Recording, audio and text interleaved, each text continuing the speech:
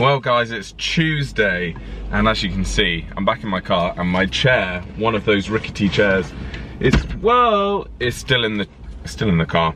Uh, I just don't know when I'm gonna have time to renovate them. I've added it to my list to do today, but I just don't have time this week. I was supposed to go see my granddad today, but I've got so much work on at the moment. I'm working with Amazon and I'm working with Shark at the moment and there's a lot of content I need to do for both. Obviously I'm posting lots on my own channel. I've got lots of things in the works on my own channel as well that you guys don't see like working behind the scenes, scheduling sort of the rest of the year content plan wise, plus all the John Leah stuff. I'm supposed to be seeing my friend Chris tomorrow who's flown over from Australia. You'll have known him from the Barcelona vlogs and the Lisbon vlogs. So he's coming to visit so I need to see him tomorrow. I need to get a haircut because the blogosphere Awards are on Thursday. I think I've already run through this with you, but basically I'm like, my hairdresser is all fully booked, so I'm like, where am I gonna go? And I need to sort out my outfit because it's super glam, and as you guys know, I don't wear glam things. Quite a lot to do, and uh, I'm going to the gym now, which I know some of you might go, if, you, if you're busy, why are you going to the gym? But the gym is like a priority for me. That is one kind of non-negotiable, unless something really important comes up, but mostly like the gym and walking Ava are the two things that I have to do every day. But anyway, first things first, let's get to the gym, but I need to call my mum back because I've got a missed call from her. Right, I've done the gym and guys, you know I told you in another clip that I've just been buying loads of antique books. I've just realised I didn't tell you about that. I told my members about that in the latest members only video. I've basically spent a lot of money on antique books again. I've just been adding to my collection anyway. Well, I bought three more, not antique books, but just regular books. Basically, I it started at the butcher, would you believe? After the gym, I was like, oh, I need to get Ava some liver, some lamb's liver, lamb's heart, because I want to cook her. Basically, I want to film a video of me baking Ava dog treats. And so I'm starting with this first one that requires lamb's liver or lamb's heart. So I tried the supermarket last week and they were like, oh, we're all out, but we should get some tomorrow. But I didn't have time to go back. So I was like, oh, I'll try the butcher now.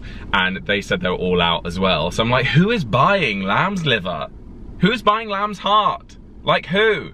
Anyway, I think I'm gonna do the recipe but with tuna. Anyway, and then I walked past an Oxfam charity shop and I thought I'd have a look to see if there was any antique books in there. And there were, but they were behind a glass case and so I couldn't really get a good look. And I did try to have a look, but there was nothing that tickled my fancy. But I had a look at some modern books and I bought three and this cost me £7.50, so what, like $10. Uh, I got one called Putney. I think is about consent, but weirdly it doesn't really have a blurb, it just has reviews. But the reviews say it's about the Me Too movement and stuff and sexual consent, so I might think that will be interesting. Um, and then I bought two thrillers, which are my favorite genre of books. So this is called The Missing Girl, and this is apparently about a girl whose uh, sister died when she was a child, and she moved away, ran away from home um, due to the grief. And then years later, her mum has died, so she moves back to the house to sort out all the belongings. And while she's sorting out all the belongings, she discovers some truths about maybe what happened to her sister because she mysteriously died.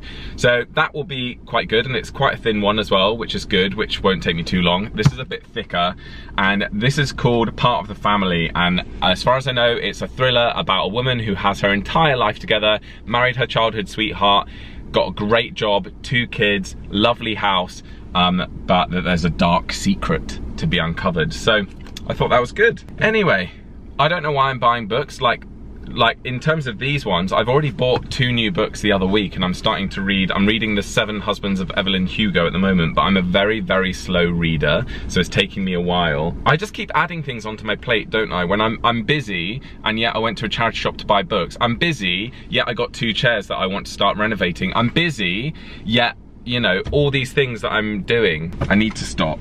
Anyway, does anyone else get grossed out about secondhand books because I do. Um, I'm gonna have to give them a wipe down when I get home to get rid of germs. I stopped to get a coffee as well at Gail's afterwards.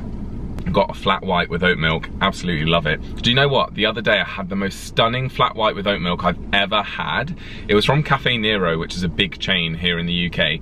And, and so you wouldn't think it would be anything special. The aftertaste was so like charcoaly and burnt and it was amazing. And I was thinking, is this the type of coffee? Is this the blend? Or maybe you hear about people talking about when baristas accidentally burn coffee and it not being a good thing. I wonder whether they burnt the coffee, and if so, I loved it. It just had this aftertaste that was just so good, and it was so good that I didn't want to eat or drink anything for about an hour afterwards because I was like, I just love this burnt taste in my mouth. Gross, isn't it? But still, I absolutely loved it. So yeah, this one isn't as good, but maybe this is how it's supposed to taste. Anyway, let's get home. Hey guys, welcome back to my car. Um, so today's actually a really exciting day because I'm seeing Chris. Sadly, he moved to Australia earlier in the year and he's back. He's been back for over a week now, uh, back up north in Manchester where he was, well, not where he was from, but where he used to live. And then he's been to Greece in Athens, I believe, from his social media.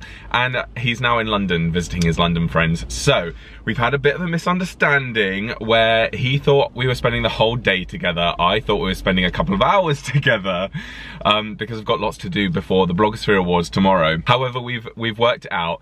Um, I'm driving now to my local station to collect him. We're going to go for brunch, and then if we have time, we might jump in the car, come back to my house, pick up Ava, and go for a dog walk. Um, so yeah, I'm really excited to see him. On the corner here, there is uh, police officers or community support officers um, speed testing people with a gun. We got a note through the door yesterday to say they were doing this workshop thing uh, where residents on my street could come and learn how to use a speed gun, so holding it, and it's just so funny watching them hold these guns at cars and they're noting down number plates of anyone who's speeding and so many people speed down this road. It's a 20 miles per hour limit. People speed down here all the time so it's just amazing watching everyone like slow down. There was a motorbike that didn't see them, sped down and they got him um, and I just stared at him because I was waiting to get in my car. I just looked at him and he just went with his helmet on. Um, so I don't know why I find other people's misfortune funny. I think it's because they shouldn't be speeding. And I hate it. I hate this road because of everyone speeding down it. I'm like, there's families here, there's children, there's dogs, there's a park one side, houses the other, like, be careful. Stop talking, Joel. It's time to go. Guys, we've arrived at brunch. Here he is. Here I am. Oh. All the way from Australia. Yeah, just for me. yeah, for the half an hour you'll For these half an hour. I'm joking, it's not half an hour. We've got a few hours. He's livid, guys, and he's not even tanned. You call yourself an Australian?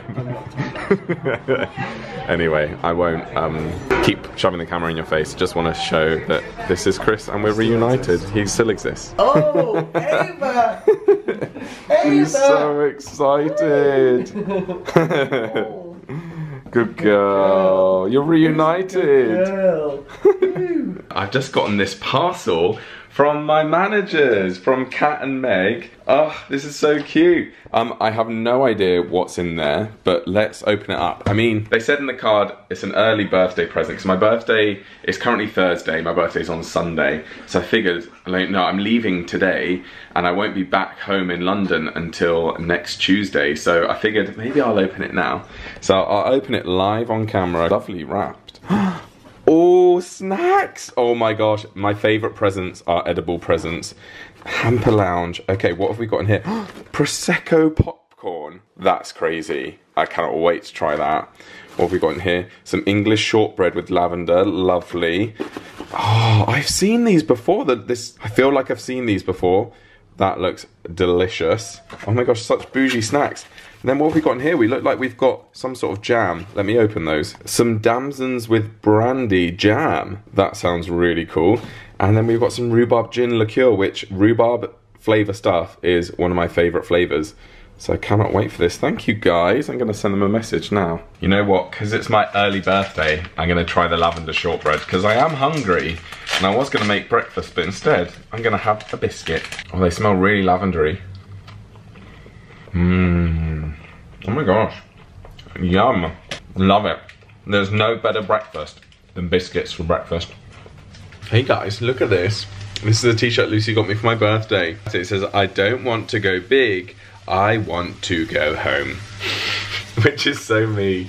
I love it. It's the first time I'm wearing it as well, so it's like got that new t-shirt feel. Anyway, This is an outro. Basically, I was editing this vlog together on a train and it was like 35 minutes long. So I was like, no, I'm going to divide it into two. So you'll get another vlog very, very soon about the Blogosphere Awards, about Leah and I winning the Blogosphere Awards. Uh, spoiler. But yeah, thank you so much for watching. If you enjoyed the, sorry guys, you need to look at this. I put way too much oil in the pan to cook my chicken sausages. It's a spray oil and I screwed off the top because it was nearing the end and poured it because I thought it was like the dregs and it came rushing out and I was like, oh my gosh. Anyway, thank you guys for watching. Also, thank you so much to my members for all the lovely comments on my latest members only vlog. It's really fun doing the members only vlogs. I really, really enjoy it and I appreciate each and every one of you uh, for being members and choosing to support me in that way. To everyone else, also thank you. I love the fact that you've watched this video and leave me a comment down below. I'll try to reply to as many of you as possible. I'm trying to make it a bit of a new thing where I'm like, no, you know what? I'm going to sit down. Well, every morning I do sit down and go through the comments anyway. I'm like going to try and make a concerted effort to reply to as many people as possible. So, yeah, leave me a comment down below. Let me know how you are. And that is it. See you guys next time. Bye.